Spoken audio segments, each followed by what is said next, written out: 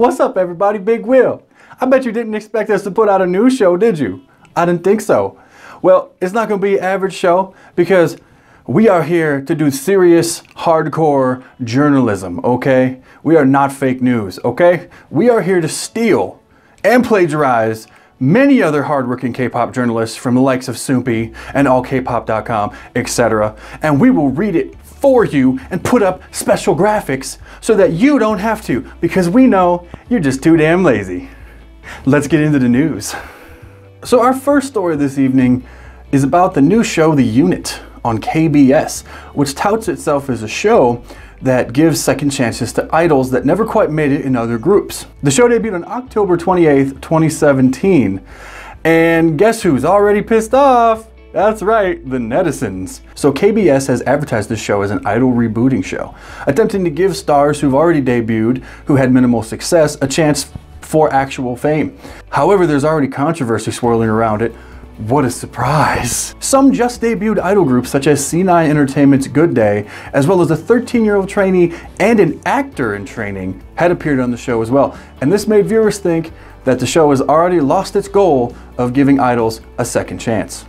Comments such as, they call this an idol rebooting project, but what's with the 13 year old and the actor who already debuted on Golden Bell? I watched this show because it was a rebooting program that was supposed to look at desperation and potential and then talent. But actor Lee Jung-ha was chosen just because he was cute. We here at the K-Pop News Network understand these opinions, and while in some cases we do agree I would say the biggest issue is that these shows are pretty much all fake. And what people are complaining about is that the producers are essentially stacking the deck. It happens in every single show, every single time. So please don't be surprised by this information. But we are curious here at the K-Pop News Network what you guys think. So please let us know in the comments below your opinion. In other news, recently on a Chinese variety program, GOT7's Jackson has revealed that he has been in five relationships, one of them with a Caucasian. And I know what you're thinking. It was not me. Although I would date him. Call me. Call me. During the interview on the Chinese variety show called Young Woman, the host asked Jackson if he was presently in a relationship, to which he replied, no. Afterward, Jackson was asked about his ideal type, to which he replied, and I quote, I don't have an ideal type. If we connect well, it's okay. That feeling is important. The first girl I dated was a foreigner. She was a Caucasian, white in parentheses. I've dated about four or five times. We here at the K-Pop News Network love Jackson and his sexy eyebrows. And would just like to say that completely agree with his assessment of what an ideal type is.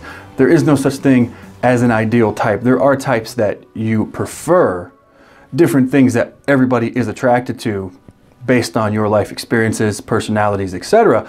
However, when two people click, it's like two ships passing in the night, baby. There's nothing like it, regardless of race, age, sex, creed, etc. So Jackson, K-pop for life, salute you.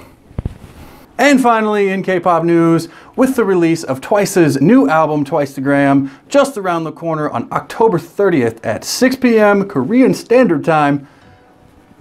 Still can't figure out what time that is here. For you fans and oncers out there who just can't wait to get your hands on the new album, Twice has done you a favor. The preview shows all versions of the album as well as what's inside, including, but not limited to, photo cards, photo books, CDs, Polaroids, and more. We here at K-Pop for Life think the album is cute and bright, just like the girls themselves.